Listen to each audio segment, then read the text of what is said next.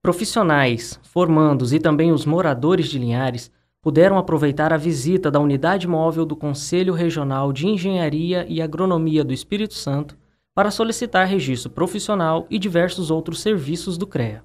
O veículo estacionado na Faculdade Pitágoras ofereceu à comunidade e profissionais orientações, registro profissional, atualização de cadastro, bem como serviços de regularização de notificações emissão de guias de anuidade, taxas, multas e outros serviços do Conselho.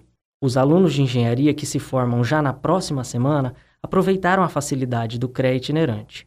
Um deles foi o técnico em edificações Sebastião de Souza, que acaba de se formar no curso de Engenharia Civil.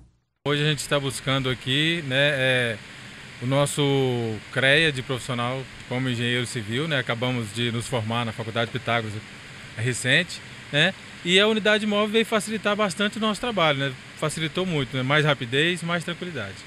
O coordenador dos cursos de Engenharia da Produção e Mecânica da Faculdade Pitágoras, Rogério Vieira, ressaltou a vantagem do serviço para os alunos. É um serviço que o, o Conselho Regional está fornecendo para facilitar a, a, para que o aluno faça o seu cadastro no CREA. A unidade itinerante estará novamente em Linhares na próxima semana para a entrega dos registros e para atender novas turmas de formandos. É uma forma de facilitar o acesso à informação ao seu registro profissional, que é a sua habilitação.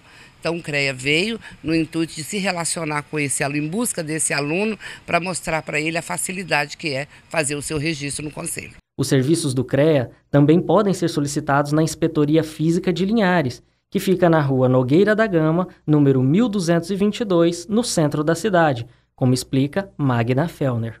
É a forma que, ele, que a gente encontrou de estar presente aonde o CREA não tem a inspetoria física, que já existe nas grandes cidades, né? E na Grande Vitória. Então, o CREA itinerante, aqui em Linhares também existe uma inspetoria, mas existem cidades que não têm, e o profissional, através do CREA itinerante, que existe um um calendário no site avisando em qual cidade que ele vai estar. Ele pode resolver todos os problemas sem precisar se deslocar da sua cidade